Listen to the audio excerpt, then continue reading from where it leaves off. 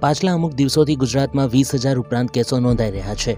કોરોનાના ઓમિક્રોન વેરિયન્ટની સંક્રમણ ક્ષમતાથી ભલભલા આશ્ચર્યચકિત થઈ ગયા છે.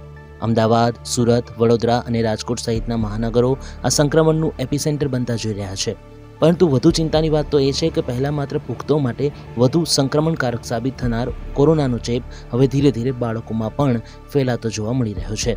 તેમાં પણ ખાસ કરીને નવજાત અને નાના બાળકોમાં. ગુજરાતની વાત કરીએ તો અમદાવાદ સિવિલમાં નવજાત અને નાના બાળકોમાં કોરોનાના ચેપના છ કિસ્સા આવી ચૂક્યા છે.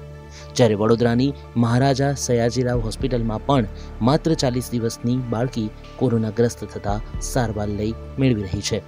લાંબા સમય પછી જોવા મળ્યું છે કે બાળકોને હોસ્પિટલમાં દાખલ કરવા પડ્યા છે. કોરોનામાં વધતા જતા કેસો વચ્ચે બાળકોમાં વધતું સંક્રમણ ચિંતાનો વિષય બની રહ્યું છે. ત્યારે આ વિડીયોમાં નિષ્ણાંતોની મદદથી સમજવાનો પ્રયાસ કરીશું કે કેવી રીતે બાળકોને કોરોના સંક્રમણથી બચાવી શકાય. અમદાવાદ સિવિલ હોસ્પિટલના સુપ્રિન્ટેન્ડન્ટ ડોક્ટર રાકેશ જોશીએ બીબીસી ગુજરાતી સાથેની વાતચીતમાં કહ્યું કે, જો કોરોનાની ત્રીજી લહેર આવે તો બાળકોને તેની અસર થશે એવી અમને પહેલેથી જ આશંકા હતી. તેથી અમે પૂર્વ તૈયારી કરી રાખી હતી, કારણ કે આપણે ત્યાં કોકુન વેક્સિનેશન વ્યૂહરચના બાબતે જાગૃતિનો અભાવ છે. તેઓ કોકુન વેક્સિનેશન વ્યૂહરચના અંગે સમજ આપતા આગળ જણાવે છે કે, કોકુન વેક્સિનેશન વ્યૂહરચના એટલે જે તે દર્દી કે રોગપ્રતિકારક શક્તિ ન ધરાવતી વ્યક્તિની આસપાસના તમામ લોકો જે તે રોગ માટે વેક્સિનેટેડ હોય. આવા કિસ્સામાં કાં તો આવી વ્યક્તિ વેક્સિનેશન લેવા માટે ખૂબ નાની હોય છે અથવા તો વેક્સિનની તેના સ્વાસ્થ્ય પર પ્રત્યક્ષ કે પરોક્ષ રીતે ખરાબ અસર થઈ શકવાની સંભાવના હોય છે. તેઓ કહે છે કે આ વ્યૂહરચનાના અમલીકરણનો આપણે ત્યાં અભાવ છે. હાલ અમદાવાદ સિવિલમાં છ બાળકો કોરોનાગ્રસ્ત છે. જે પૈકી મોટાભાગના બાળકોના માતા પિતાએ વેક્સિન લીધી નહોતી Ahmedabad district health officer Shailesh પરમારે કહ્યું કે, અમદાવાદ ગ્રામ્યમાં સાહીઠ બાળકોને કોરોના થયો છે. અલબત્ત, કોરોના માઇલ્ડ છે, પરંતુ આનો ચેપ તેમને કોમ્યુનિટી સ્પ્રેડના કારણે લાગ્યો છે. એમાં કોઈ બેમત નથી. શહેરમાં હજુ પણ ભણેલા લોકો કોકુન વેક્સિનેશનમાં માને છે, પણ ગામડામાં કોકુન વેક્સિનેશન નથી હોતું એટલે બાળકોમાં કોરોના ઝડપથી ફેલાય છે.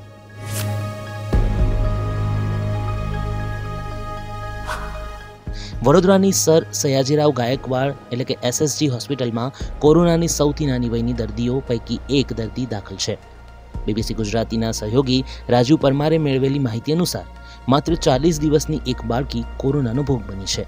જૂના વડોદરા સિટી એરિયાની આ બાળકીને શહેરની અન્ય સરકારી હોસ્પિટલ જમનાબાઈ હોસ્પિટલ ખાતેથી એસએસજી હોસ્પિટલમાં પાંચ દિવસ પહેલાં જ સારવાર માટે ખસેડાઈ, ત્યારે તે માત્ર ચાલીસ દિવસની હતી.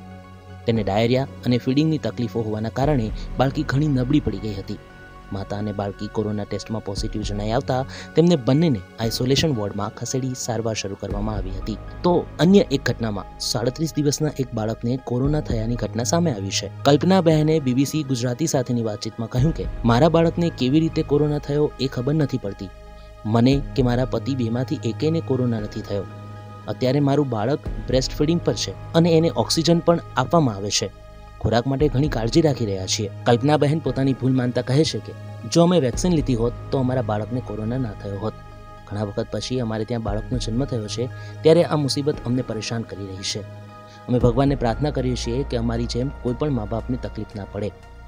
ડૉક્ટર જોશી બાળકોને બચાવવાની વ્યૂહરચના અંગે વાત કરતા કહે છે કે પોતાના બાળકને કોરોનાથી દૂર રાખવા માટે દરેક માતા પિતાએ કોકુન વેક્સિનેશન વ્યૂહરચના અપનાવી લેવી જોઈએ.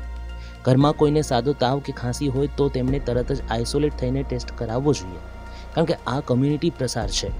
જો આ પગલાં લેવાય તો બાળકોને સરળતાથી બચાવી શકાશે.